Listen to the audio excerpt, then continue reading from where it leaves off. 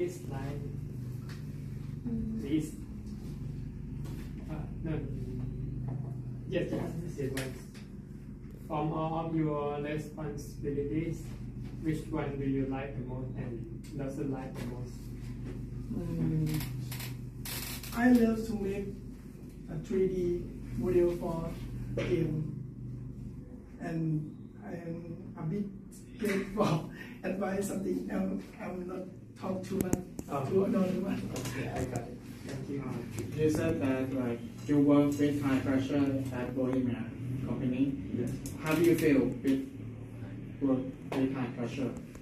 Yes, I, I think I, I love, but because it's challenging me to uh, improve my skill, and every thankful for my team, especially Tao and Bao.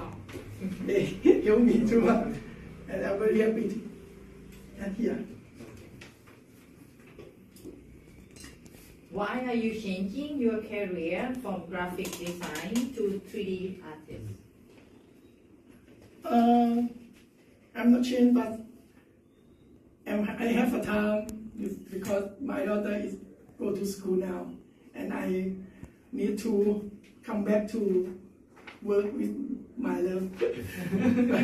I, I love to work, but I have more time. But now I'm, I have time. Yes.